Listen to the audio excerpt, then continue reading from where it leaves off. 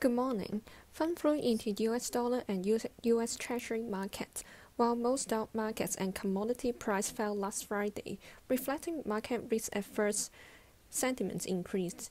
In fact, global stock markets has already accumulated significant gains since Biden won the election in early November.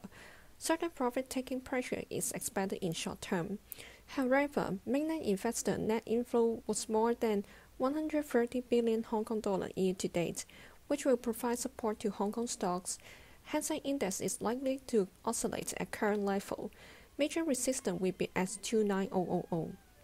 Hong Kong stock connect net inflow remained strong at 14 billion Hong Kong dollar last Friday, of which net buying concentrated on Tencent and Xiaomi.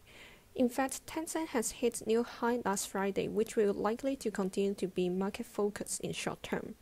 On the other hand, China Merchant Bank and China Industrial Bank Q4 results posted strong growth. Major China banks' full-year profit could stay flat, beating market expectation. Given low valuation and relatively high dividend yield, mainland bank sector is likely to remain strong in near term. For today's topic is China Education Group 83839. The company announced Guangzhou University, Songtian College, and Chongqing Nanfang Translators College of Sichuan International Studies University has recently received approval from the Ministry of Education. They are approved for conversion from an independent college into a full private university. Conversion will reduce management fees and expand profit margin.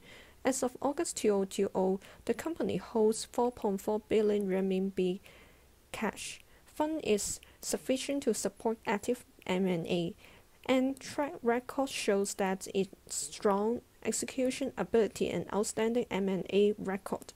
In terms of valuation, FY21 prospective PE is around 22 times, which is lower than last five-year average. Valuation is attractive.